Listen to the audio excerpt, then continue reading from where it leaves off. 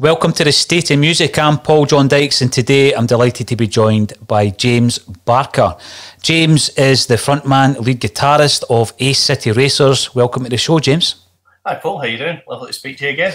It's always a pleasure. And where are you in the world? Uh, I'm in the south side of Glasgow, over Battlefield Way. Um, so just stay just behind uh, the Battlefield Rest for anyone that knows where that is. Um, now, Let's talk then about Glasgow. Let's talk about musical heritage. Let's talk about venues, labels, bands. um, I know that you studied in Glasgow. Talk to me about some of the influences that uh, yeah. Glasgow has given you.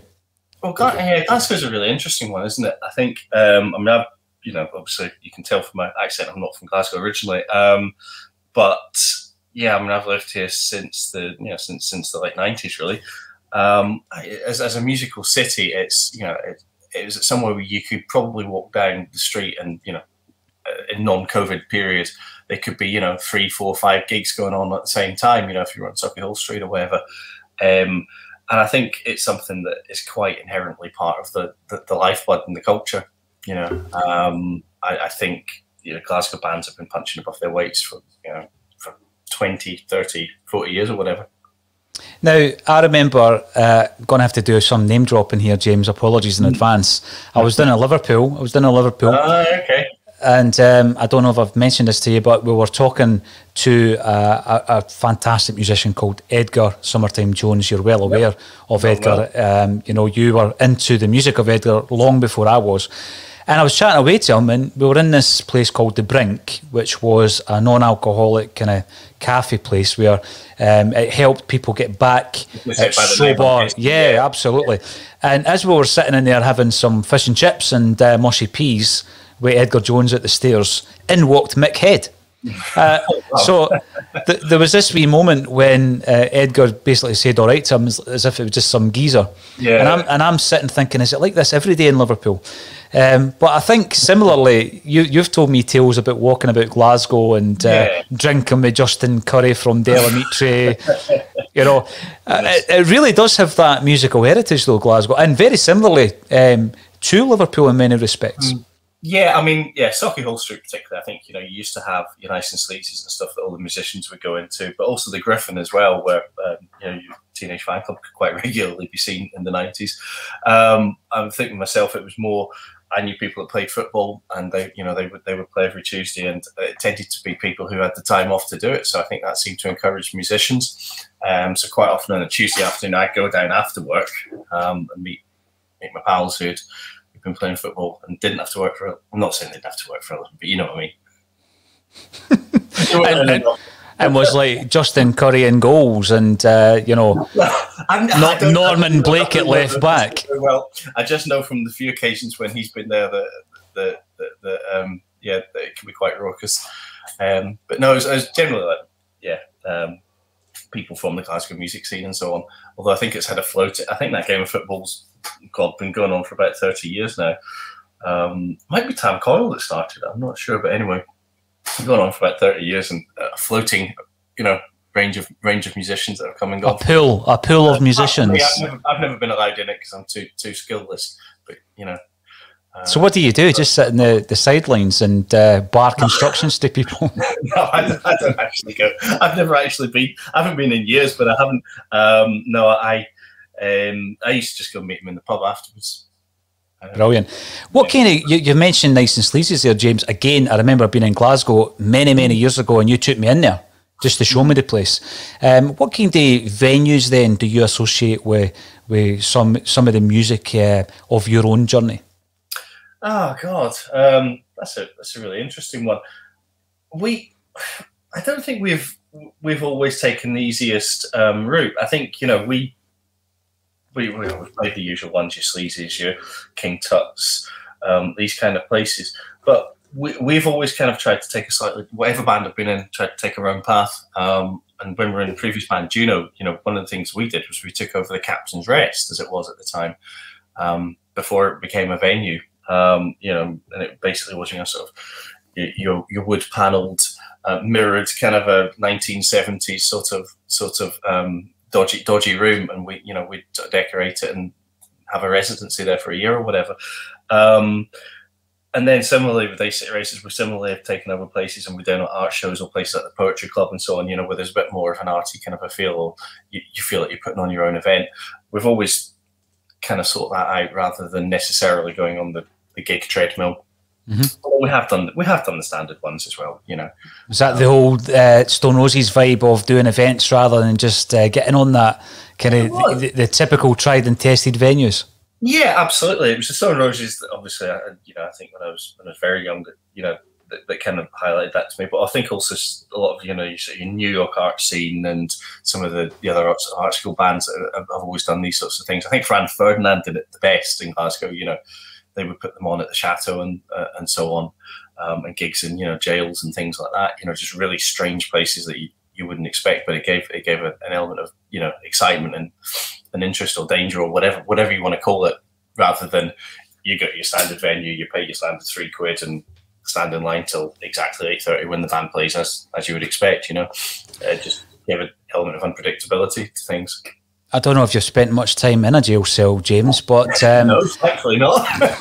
what is this? What is the strangest venue that you've played? I remember a gig um, being played by Sonic Boom now, Sonic Boom was part of Spacemen 3, I think. Yeah. And, and he played it in that hidden bunker, which um, is in yeah. St Andrews. And it's so hidden that there's actually signs on the road yeah. to tell you where it is. Imagine that, yeah, yeah. Uh, I could imagine, also imagine how loud that would be given, mm. you know, his, his love of fuzz and everything.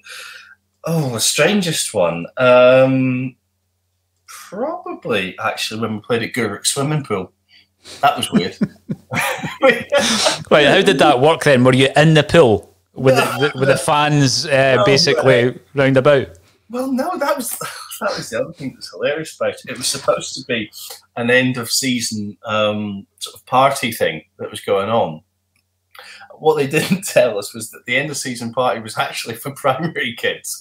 So they just had loads of primary kids coming out to listen to really loud three minute, you know, thrashy sort of post punk songs as we were doing at the time, and it was just utterly bizarre. Um, it was quite good fun. There's some good photos of Mark and me playing around with beach balls and stuff, you know. Um, but we also blew blew the payout payout that day, I think, because um, we were, we didn't realise just how, how far the sound had to try to travel. And then you were shouting at primary school kids, amateurs, yeah, amateurs. No, yeah, no, it was just totally surreal. Well, when I says you were in the pool, I was picturing it as an empty pool. Ah, no, no. We played by the side of the pool. Right. Yeah. Kind of okay. like kind of like in a in a 1960s garage band type way, you know. Bizarre, uh, but but brilliant. Actually, now that I'm picturing it, um, and and when we look back, Gourock in March isn't the same as you know LA and, in summer or whatever. I want I want to see these pictures, James, of uh, the Gourock swimming pool gig. Yeah the infamous gig. Um, but when you think back, and I've already mentioned Edgar Jones, you talk about seeing him playing for the uh, you know for the Stairs yeah, way back in the day. What kind of gigs do you look back on that have endured the the test of time for you, James? It's, yeah, so it's different different things for different reasons. I mean. Uh, that what that was that was Edgar supporting the Charlatans, and that was a big one just because it was the first ever gig I went to, and I was at 15 at the time. And I remember going to um, and I actually remember running down. My big cousin took me, and I, I running down the stairwell at the back, thinking the place was on fire because there was this ringing noise, and I hadn't realised it was because my ears were ringing. So the very first gig I made, I made a complete arse of myself by running by running away at the end of it. ah, why is no one else panicking? You know, uh, it was because my ears were ringing, and you know, I just hadn't been introduced to such live music before. So that one's obviously in there. Uh, I would always say. Um, quite a few. Inspiral Carpets because they were so great live. Stone Roses when I finally got to see them. Uh, Blur, I think, various ones that they've done. I was lucky enough to see them on the Sugary Tea tour when they did Girls and Boys for the first time when they were you know, promoting Modern Life is Rubbish, and that was Newcastle went to for that. Um, that was quite quite incredible. Um, they'd done their place up to like, their living room. Um, and again, also riding the Charlatans at the Barrowland, uh, sorry, the Blackpool. Blackpool um, Rock, was it? Yeah, for Rocks. Yeah, it was amazing. Um, but there's been there's been so many over the years. To be honest with you, so many. I'd need to go through my ticket stubs, uh, my collage of tickets, and and have a look to see what ones I've been to. That, that, you know, those are ones that are from from a long time ago, and there, there are still one. You know, I, I, do still get that thrill from music. Mm. Uh, comes less and less, I think, as you get older. You know, does it? I, I find yeah, I find the band have to be really really good. I think mm. um, when I was younger, again, I was lucky enough to kind of grow up with the so-called sort of Britpop era and, and so on, where there were lots of good bands coming to town every other every other week. You could see Super Furry Animals, you know, for a five or whatever, you know, um, and that was all very exciting. You know, some new band that you'd never heard of, and then they had a really good good song in the charts the week later. Um, I think now, I think possibly I, I, go to less gigs, but when I do, you know, tend to be the last really good one I went to see was actually David Byrne. That was that was amazing. Um, but it was it was less of a gig and more of a one man show. It was mm. strange. It was like oh, every every musician um, was wearing you know wireless um, you know, sort of microphones and so on, and all the guitars were wireless and all. The whole thing was choreographed.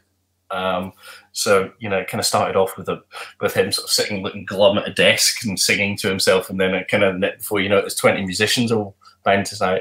Um, not the sort of thing I would ever have thought I really would have enjoyed, but it, uh, it was it was just incredibly well put together and re- really well done. Now, was he born in Dunbartonshire? He was, yes. Yeah, there you go. Yeah, well, another, that, isn't it? Uh, well, it's another part of the Scottish musical heritage, James. Now, you mentioned my cousin's distantly related to him. Actually, is that right? Yeah, I'm sure. Or, or my cousin's husband. I'm sure. I need to double. I need to. I need to fact check that. I don't want to. You know going on Trump on you, but I need to fact check it. I'm pretty sure. Yeah, you should. You should definitely do that. What incarnation of the Roses did you see then?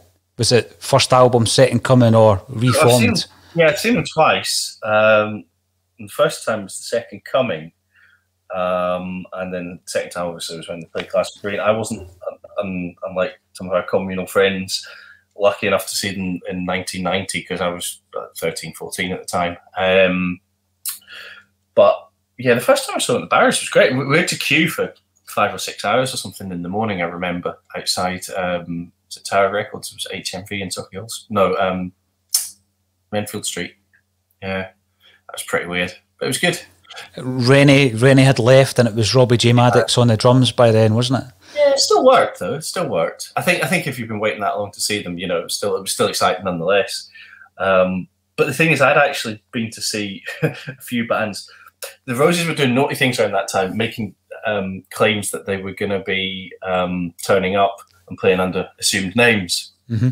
There's one that one day I remember getting really drunk, and some people managed to persuade me that they were playing under the name Monster Magnet at the garage. I, I, I, went rolling up, going, oh, "I can't believe there isn't a food here on my own." Um, bought a ticket. Some terrible rock band, basically, really bad. And I was like, when are they going to, you know, play I Want to Be Adored? And they just didn't, obviously. Yeah, really, really bad. That that is pretty bad. It's pretty bad that you fell for it. To be fair, um, but a lot of things back then. you um, you're talking about the Barras, and when you're you know, you think about iconic Scottish venues, the Barrowlands is certainly up there. You hear so many bands, James, name dropping the Barrowlands. Yeah. Um, you, have also mentioned King Tut's Wah Hut, and um, you nonchalantly said that you've played there. You've, I think you've played there quite a few times, haven't you, the uh, Tuts? yeah, lots. lots, How, how important are these these bands to um, Scottish music? They, know the bands, the, the actual venues. How important are the venues to Scottish music? I think they are important because at, at, different levels they represent different stages. I think you know, um, and the Barrows obviously I think is probably the pinnacle that you know everyone would like to to um, to go to. Um, and I think you know something like King Tut's, it's it's it's one that I remember being very very excited to play the first ever time I played it. And I've had I've had different experiences there, but when it's good, it's great you know, if it, if it's a really full gig and sounds good and all the rest of it, because it's just again, it's that thing. You know, so many people in a in a reasonably compact area, but with a really powerful sound system, so it just is quite you know quite full on. Um, the Barras, I mean, I, I love the Barras actually just as much as anything for for what it is as a building. Um, you know, it was the first place I went to see a gig, but I also love you know love going to like, the Barrow Load of Soul things there and so on as well because mm. it has that classic you know um, dance floor um, and the you know the suppose that kind of big echoey quality actually really suits live music, you know, or, or even records. Uh, it's a different quality. You know, it's not very pristine or um, whatever, but it's got a really sort of soulful quality. The room has. You've, I mean, when you look at the history of it as well, and the fact that you know it was um, basically the the the barras, the people who mm. had barrows, uh, who mm. went to the barrowlands um, to sell their wares at the market. Yeah. Um, you know, this was a way of them getting together. Uh, for a dance, you know, back in the yeah. day, like the ballroom dancing, and you know that's where it started. That's where it originated. There's a real rich history in the building, like you say. Yeah. Um, the last gig I went to before uh, the the lockdown was in actual fact at the Barrowlands. I went to see Primal Scream at oh, the Barras, okay. and um, you know Bobby Gillespie came on with his pink suit and all that kind of stuff on. how, yeah. how how important, how pivotal are Primal Scream uh, to your your own kind of musical history? I mean, for me, they're up there. They're always in and around my top three bands of all time. So it's funny. I think at the moment, I I go through kind of phases and waves with music. At the moment, um, I wouldn't say that they're particularly influential. However, I think when I was in the band Juno, they were, I mean, you, you know, the songs, they clearly were quite influential. And I think more than anything else, their ways of working, um, i.e., for me, the best thing about them is that they have a really, really open relationship with trying anything, you know, mm-hmm. and you, and, and, I think that I share that same thing, which is that I, when I hear something, um, I immediately want to go and try and do something a bit like it. So you know, you got Primal Scream trying to do um, a techno record, or Primal Scream trying to do a you know sort of a uh, southern you know rock record, or you know whatever. But clearly, it's coming from a place of genuine enthusiasm for whatever they're doing, and I think that's the bit that for me actually is is probably the you know the the biggest um, the biggest influence. You shouldn't be you shouldn't be afraid to kind of throw away what you've done before and, and, start from scratch. It doesn't mean that you didn't mean it. It just, you know, or that, um, that you were in some way just doing it for fashion cycle for this, that, or the next thing. Um, it just means that you've got an inquiring mind and you, you want to try new stuff, you know. And, and, and never, re- never repeat yourself. Never repeat yourself. Don't repeat yourself. If you do by accident, then that's fine. If you write a song that happens to sound a bit like one you've done before, then that's fine because you're only ripping yourself off. But you know, uh, I think it would be a terrible moment in your songwriter's life to say, you know, what we need to do is we need to recreate that moment when we did that, you know. Um, because I think I think it would suggest you've kind of run out of ideas or whatever. Do you you see it a lot with the the bigger bands, and, and I've thought quite a bit about this because I know you've mentioned quite a lot of bands there, James, but I also know that you were in the early days of Oasis. You were into that band. Uh, mm. You probably bought the debut LP on the day of release, yep. kind of thing. You were there or thereabouts. Mm. But there, there came a point, I feel, in the, the lifespan of Oasis where mm. they went from being a band to a brand. And it was almost as if, yeah. you know, they couldn't possibly release an experimental fourth album because, you know, there was so. Exactly. Do you think that was key in many ways to their demise? So I right, I really loved them, and I saw them at the when I was still at school. Actually, I remember dogging off school to go and see them at um, oh, what was it called? Ah, that place, okay, the, the rat, the Rat Trap, I think it was called. Yeah, the Rat Trap. Um, and you know, again, this was around that time of Shaker Maker, and it was fantastic, and it was really exciting. You know, um, and what they were doing was people, you know, people often accused them of being a retro band. Um, but what they were actually doing was quite new in terms of the way that they'd taken, you know, the sort of the fuzz of the Jesus and Mary chain, but with the melody of the Beatles and, you know, a wee bit of the Sex Pistols and so on. But, you know, there's a bit of musicality there as well. And it was thoroughly exciting. And the first album was fantastic. Second album had some fantastic moments. Also had some moments I was less keen on, if I'm being honest. But, you know, had some great moments. And then after that, I kind of thought, hmm, what are they going to do that's not, you know, isn't just repeating themselves. And I find it really interesting when there was there was one album when they tried it and they tried to sound a little bit like the Beta Band. I can't remember what album that was. I think the song the song was "Go Let It Out." Yeah. Yep. I remember actually thinking this is quite good because they they're giving it a go. Although I also remember saying something at the time, saying I bet all the Oasis fans think that they invented the Beta Band. You know, they invented that sound. But um, but at the same time, they they kind of that was about the the extent of their experimental, you know. Mm. No, you're right. And then there was a couple of occasions, I think, where there was an opportunity for them to take a left turn. Uh, Death in Vegas. They were working with Death in mm, Vegas. They did some, yeah. Chemical you know, well. Yeah, yeah. And they could have they could have gone down that route, but they always came back to the Oasis brand, didn't they? I think, yeah, and I think the problem was was they got to a stage. Uh, the way I, I, I don't know, I, I don't imagine Noel Gallagher's lying worrying what I think of the choices he made as in songwriting. But I think that, I think they got to a stage where they worked out what worked very well, very Mhm. quickly, and they kind of didn't deviate from it. You know, even to the extent of you know, I can't even think of an Oasis song that necessarily begins with a bass guitar. You know, and by that stage, if somebody as talented as Andy Bell on, on bass, why not let him, you know, or single, why not let him, you know, do you know, set, do a bit of jazz funk or whatever? Who knows? Yeah, but you know, and then and then then then introduce the other instruments, that kind of thing. You know, but generally everything would start with you know a guitar riff or whatever. When you said that, I just had visions of the Mighty Boosh there. Um, looking back to the Mighty Boosh days. That's what my Um, hair looks like at the moment, Paul. Well, it is lockdown. It is lockdown. um, no, that was it when they were looking for the new sound. That's right. That's right. But listen, mate, you're in your forties. You're doing fine with hair. Don't worry about it. Uh, you've mentioned in dispatches being in a band called Juno. Now, I know that you had been in a few bands prior to that that probably were very much guitar based with a Hammond organ undercurrent. I would maybe suggest, and then you go and you form a band called Juno. And when I start hearing the the output, I'm thinking, where on earth did that come from? So you had done that. You had taken a big left turn, didn't you? And you went down a more kind of electronic pop route. What what inspired you to do that? I know Primal Scream were a big inspiration, um, but I mean, what made you do that? Was it just let's try something different? Is that what was in your headspace at that time? Yeah, I think if I'm being completely honest, the previous bands I've been in, um, myself and Jamie, who, who was the person that you know did all the synths and backing within Juno and all the backing tracks. Um, I think we had always somewhat. He played the Hammond, I played the guitar, and there'd been a bit too much musical competition in terms of fighting for space and overloading things with you know with sound. Um, and I, I took a conscious decision to focus on trying to write songs, you know, three, four, five chord songs, whatever, um, and leave the guitar um, theatrics, you know, out of the picture. And Jamie had been coming up with some great um, backing tracks at the time. So I can, I think there was an essential bit of a let's let's let let Jamie and his keyboard and backing fill the space. And I, I kind of actually restricted the way I was playing as well um, to do that. Um, and it very much was actually because it was much more democratic.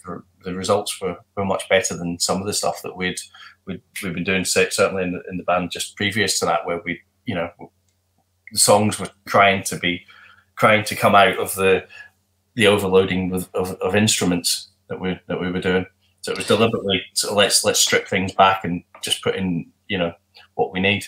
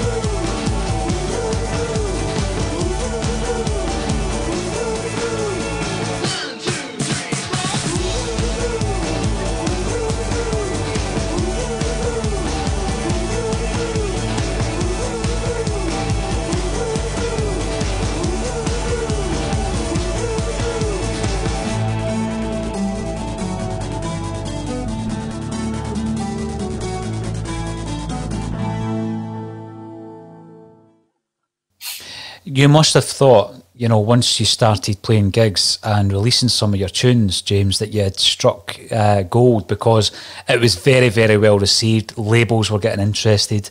You were playing big um, gigs. You were playing festivals.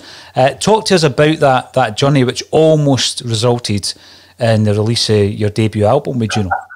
Um, yeah, it was well. It was great fun. I think it was the main thing, and I think that most of the sort of the live reviews and, and so on that were very kind about us uh, picked up on the fact it was fun and we were enjoying it. Um, you know, um, some of the gigs we had, we had quite a large retinue of people live doing different things. You know, playing percussion or brass or whatever, or whatever people fancy. Because we did have that kind of whilst we were, there was a core unit of us, a small number, we did also, you know, kind of open it up to other people in a slightly Brian Jonestown massacre. You know, if you if you come along with a guitar, you can you can get on stage, kind of. um, and it, and I think people picked up and liked that that it, it was genuine. Um, we did genuinely enjoy it. it. You know, it become actually, funnily enough, as we were getting more and more nice things said about us, it actually become less fun, and become harder because we've got something to sort of do with it or live up to, or you know, convert into something. And you started thinking in a more businessy sense, which is which is never great. But then what I found is that when uh, a pundit uh, or anyone within the, the kind of musical press fell for Juno, they fell, um, you know, head first in love with the band. They were they were in it for the long haul. They loved Juno, and nice, yeah. they, they were, weren't they? And what happened as well is obviously there were some tracks that um, had a, a big kind of I don't even know what the the term would be. Was it electro pop kind of uh, vibe? And a big so. part of that was due to the production and also some guest vocals from Manda Rin of Bis fame Yeah. as well. Was that another one of these Glasgow things where you just your paths crossed because you were moving in similar circles? So I was friends with Stephen anyway. Um, I've been friends with Stephen again through, you know, as we say, through um, various people we knew for for a couple of years. Um, and he ran the Studio 7A, which is just actually really close to where, where we stay. It's not, sadly no longer a studio. Um, so we booked in basically to, to record a couple of couple of demos with him. Um, and we did two, one which sounded like the old band we'd been in, then one which was where we cut it loose. I remember it was we took a chance um, and we came out going, oh God, that sounds really different. You know, and we thought, actually, we'll throw away everything we've done before. And I can, the decision, the decision was slightly made for us, you know, because it, it was obvious that there was such a discrepancy between the two. And it was through Stephen that obviously, um, went see Best, you know, you're to see Best anyway, but like, again, since the sort of mid 90s, um, that we met Amanda and she very kindly agreed to sing on the song These Boys Are Athletes, which uh, sort To great effect, to great effect, sort of James. saved us. I think it saved us that one. Yeah. Now, this is relevant because the album um, was recorded. It sounds tremendous. It was called Harder Than It Should Be. Am I right? Yeah. Um, about the process was harder than it should be. Not the recording process, but the process of being in that band. Yeah. And, and being in the in the business of the, the musical world, I guess. And um, it was harder than it should have been. But it is an album that exists, and people who tune into many of a State of Mind's channels, this one included, this show included, will recognise uh, Juno because um, a lot of the music is used. I mean, a Celtic State of Mind, one of the, the channels on a State of Mind, um, has had that particular intro and outro played. Was it seven and a half million times at the last count, Jim? Is that right? It must be. We're heading towards 10 million plays on that that one track. that's more love of Celtic than, than, than love of Juno. But you know- you guys are doing rather than us. Yeah. It's become it's become an absolute staple part of that show. I mean, it wouldn't be the same without that particular song. You know, playing it in and playing it out. And what we're planning to do, uh, obviously with yourself, is to continue to to play some of these these tunes. So the intro you hear to the state of music is Juno, uh, Mirrors, as it happens. Uh, and eventually, once people get familiar with more of the songs, we are going to work together in releasing the album because it's been, I think, 15 years since it should have been released. Is that right? Um, oh, let's think. So we finished right. So we finished it in two thousand and end of two thousand and six. So it was supposed to come out two thousand and seven. and then it got pushed back. It was supposed to be 2008, and then it didn't. And then I, I went in the huff and just had enough of this because, um, yeah, it was supposed to come out, and, and it was just unfortunate. We'd had a couple of successful, so three three singles, I think, four singles, something like that, and it was all building, building, building, and then you with bands you've got to keep the momentum up really. And the momentum was just lost by that stage. Um, um, yeah, kind of walked away. It was a shame. It was a, it was a shame because the album was beautifully produced by Stephen.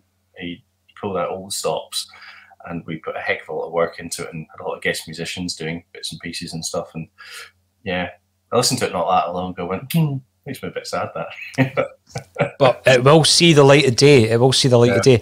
Remember it. Uh, remember the band appeared in the Fife Free Press. You Yeah. were in. You were in the top hundred. Now, was it the top hundred Scottish bands of all time? Something like that. I don't know. Was it five bands? Might Well, well, you- than that. You were in, you were in number seventy. I do remember that. Um, I do remember seeing that in the Fife Free Press. How does Juno evolve into Ace City Racers? Um, yes. So, with Juno, what had happened was we'd taken the electronic thing about as far as we could.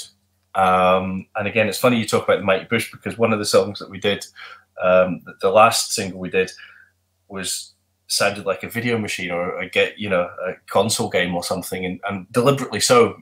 I remember me and Jamie making it making it like that. Um, and we at that time we played with Robots in Disguise, who were affiliated with Mighty Boosh. They were the they were the Electro Girls from it. I don't know if you remember that. I do. I remember it. It was all really good fun. It was all you know, everything was neon and glow sticky and all the rest of it. Um, but I think after that, I kind of I just started picking the guitar up again, and I, uh, gone back to kind of basics and sort of the things I used to listen to, and and I wanted to start writing guitar music again. Um, where I kind of challenged myself a bit more on the guitar because I'd been kind of playing barcodes and disco rhythms and not much else, you know, while, while I was in Juno. So it was good to kind of go back and do something a little more intricate again. No, and and to be fair, it's more down my kind of street. And uh, talking of streets, you worked with Stephen Street, and uh, obviously Stephen Street w- produced a lot of the records in your record collection. James, how much of a thrill was it to go down to London and work with him?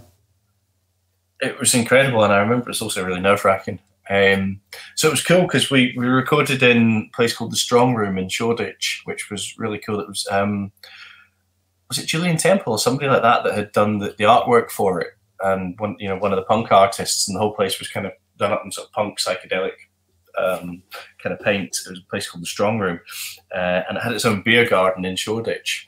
And so it was a great place to record, and it was lovely. But I mean, I remember when we went in, you know, I, I went in with my sort of Squier Telecaster, you know, cost me 90 quid and stuff. And uh, the drum kit we had, he actually said to us, he like wasn't doing impression. I said, Did you get that? Looks like it's been in a war. Yeah. it was it was a, an old 60s drum kit we got. Well, my dad, I think, had got in an auction or something, you know, I'm in Fairmont Town Hill auction. Um, and I just remember being at first quite quite quite nervous, but he, he was he was really professional. He put us at ease. He was he was just basically a class act. You know what I mean? And after he finished it, we sat and had a pint with him in a chat, and it was all nice. It was a shame we never got to do more stuff with him. Música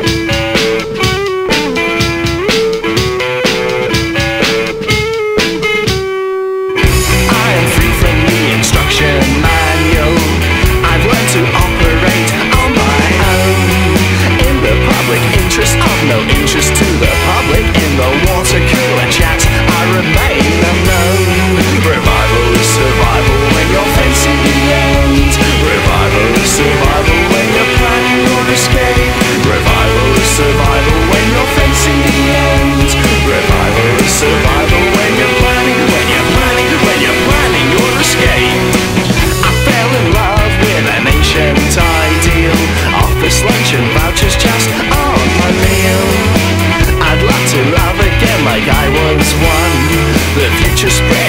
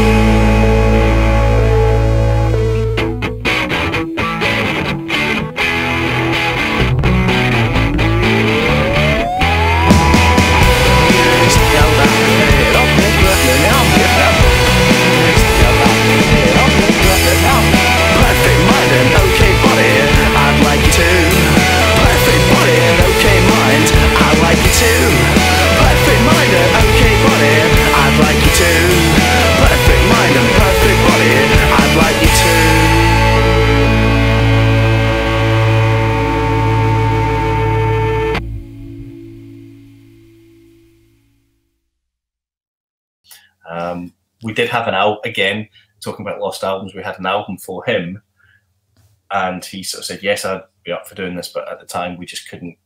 We were just completely out of step. The guitar bands were just not popular at that at that point. Um, and I remember we played with Brother. Do you remember them? Viva Brother? I do, I do remember them. Yeah, and it seemed as if there was, you know, potential for a, a sort of a bit of a guitar resurgence because they were also produced by Stephen Street at the time. Um, it just never quite happened. Just never quite happened. So, um, I Yeah. remember seeing them. I, I seen Viva Brothers supporting Morrissey. yes, that's right, because he was a fan, wasn't he? Mm. Yeah. Yeah, absolutely. And again, you've got the Stephen Street connection. Mm. Um, you mentioned a, a Squier Telecaster, was it? Yeah, You still got it? I do. Yes, I have it here. My rack Grab it. guitar. Grab it your rack of guitars. Yeah. So when you're when you're using a guitar like this, what kind of sound are you going for, James? So I guess with this, um, this is the sort of the, you know, sort of edgy kind of post post punk sort of sound. You know, and I think the, the two sort of people that, for me, well, three people that tend to use Telecasters is Johnny Marr, um, Graham Coxon, obviously. You know. You know, so it's got a good choppy sort of sound, and Wilko Johnson as well. You Mm. know, the sort of, and this is actually similar-ish in colour to the Wilko Johnson one. You know, kind of thing. Um, and it's really good fun to to kind of really abuse. And I used to call this my throwing Telecaster because, as I said, and I don't do that now, but it costs ninety quid, and you literally could throw it at things and bounce it off the ground. And there's some good videos of us doing live, you know, doing that, and it wouldn't even go out of tune. You know. Robust. Yeah. That was that was the Keith Richards thing. You know, he reckoned that uh, there- was some. They did some test where they they run a Telecaster over with a truck or something. You know, and it, and it survived. They're really tough, really tough. It's one of the, it's one of the ones though. You wonder if it's a myth. I mean, you wouldn't have used Solvite and then glued yourself onto an aeroplane like they did in the adverts, but they told you they told you you could do it. yeah, yeah. No, I mean, absolutely, absolutely. This one needs a bit of adjustment though, because it's getting to the stage where I can just about lose my fingers under the under the strings. So Didn't didn't you write a song called Wilco? we did, yes. And was that Well, homage to Wilko Johnson? Yeah, it was it was written specifically as a B side, and I know that seems like setting your setting your sights very low, but we, we deliberately wanted a two or minute and a half song that we could stick on the B side of, um, of the different angle single, um, and we deliberately played it in the style of it. Although perhaps more like a punk band might play it rather than a sort of a very heavy R and B band. Brilliant. No, that's great. It's great to get It's up. kind of I can't remember what it is, or something like that. You know, it's very sort of derivative. We didn't we didn't break any musical boundaries with that one, but You're playing your, you're playing yourself down. You're playing yourself down there. Now you've already mentioned the Poetry Club. It's a great venue. It's a venue that um, belongs to Jim Lambie, fantastic Glas- Glasgow-based artist, world-renowned Glasgow-based artist, and um, your debut Ace City It's Racers. disappearing out of view. But I don't know if you've seen this, Paul. Oh, nice. Yeah. It's about I, haven't, Club.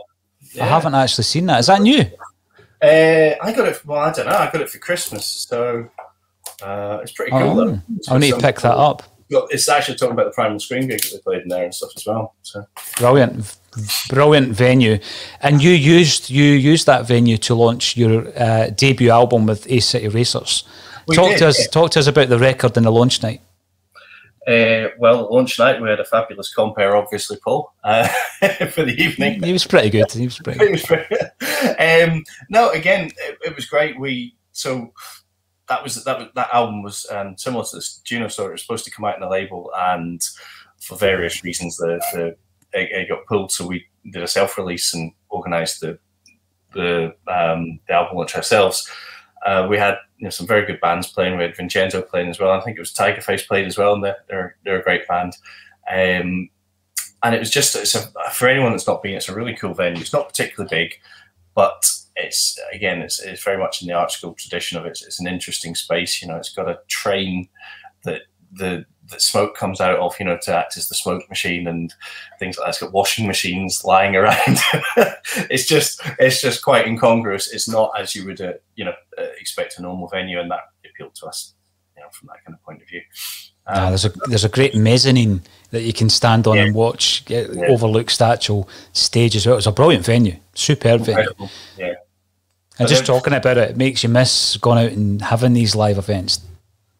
It does, and again, the last time I was there was to see again Edgar Summertyme, um, you know, and that, that was a great, great night too, you know, um, playing at one, one of your things, and it was just that kind of, yeah, yeah, it, I, I do miss nights like that.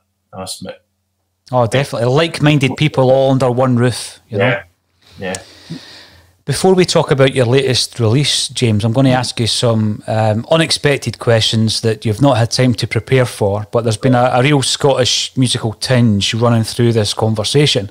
Um, so, if you were to choose a Scottish band to play the Eurovision Song Contest, what Scottish band would it be? well, it'd be us actually because we wrote a song for it. This was not set up. That question wasn't set up. So you wrote a song. You wrote a song for the Eurovision Song Contest. Well, well, we wrote a song, not specifically for it, but we wrote a song. It's the last song on the new album um, called "You Need Love."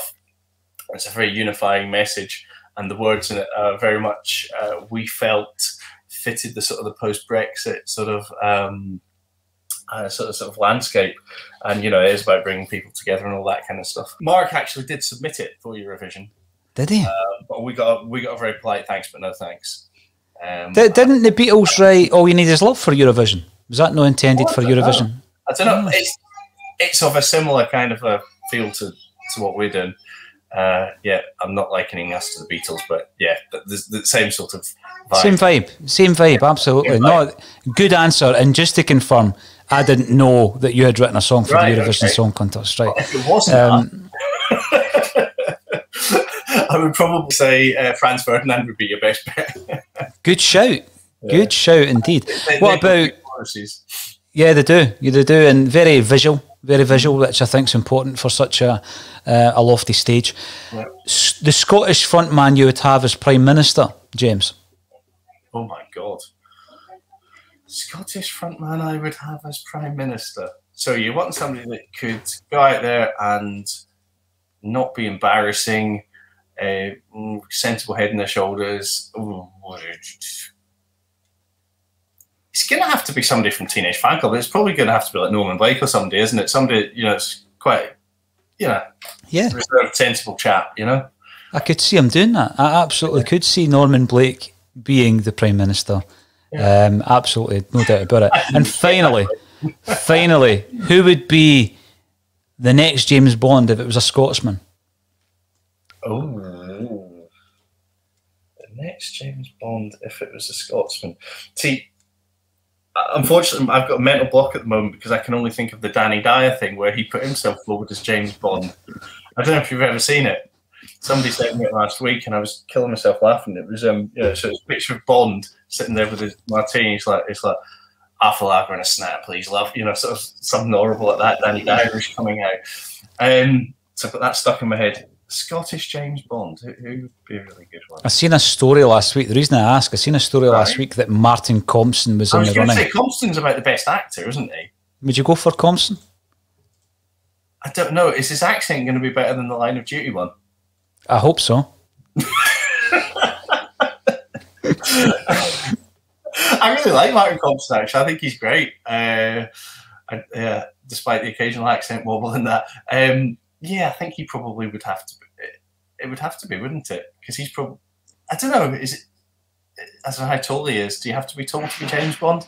I don't know if, if they're into that kind of thing, mate, to be fair. But we'll go with Martin Compston. You can change your mind the next time you come on the show. I'm not gonna Um, think about that.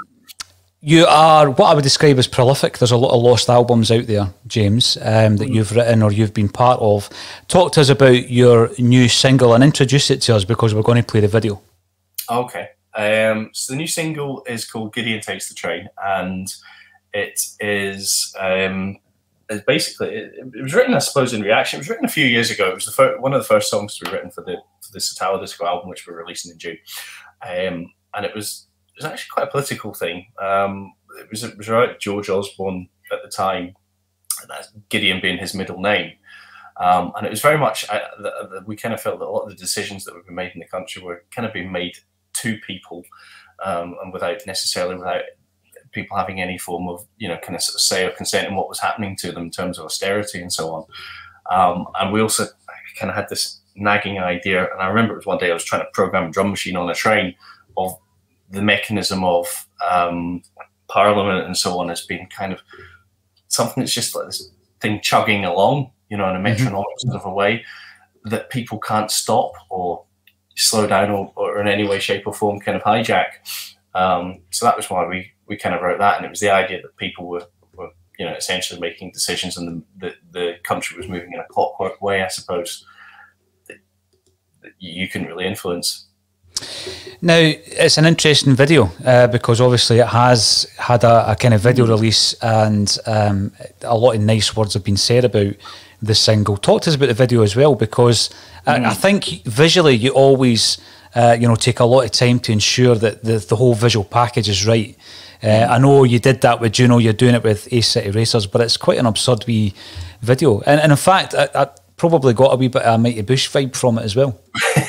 So yeah, I mean, we, we firstly we can't take much credit for the video because that was um, a very talented filmmaker and musician called Ian McCall that pulled the video together. He came up with the concept and basically said, you know, the concept of somebody being a sort of evil businessman or whatever who gets his comeuppance from a giant paperclip.